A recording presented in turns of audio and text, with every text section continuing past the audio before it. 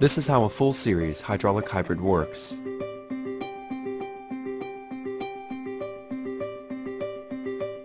When the drive pedal is pressed, the pump motor takes fluid from the high pressure tank or accumulator and uses the pressure from the fluid to turn the wheels. The now unpressurized fluid is stored in the low pressure tank or reservoir.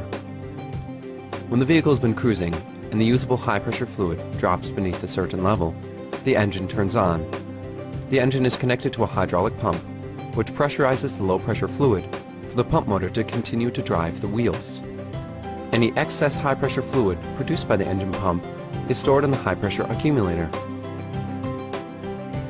When the brake pedal is pressed, the engine shuts off and the pump motor slows the vehicle down by using the vehicle's kinetic energy to pressurize fluid, pumping it back into the high pressure accumulator. When the driver wants to accelerate again, only the saved energy will be used to turn the wheels.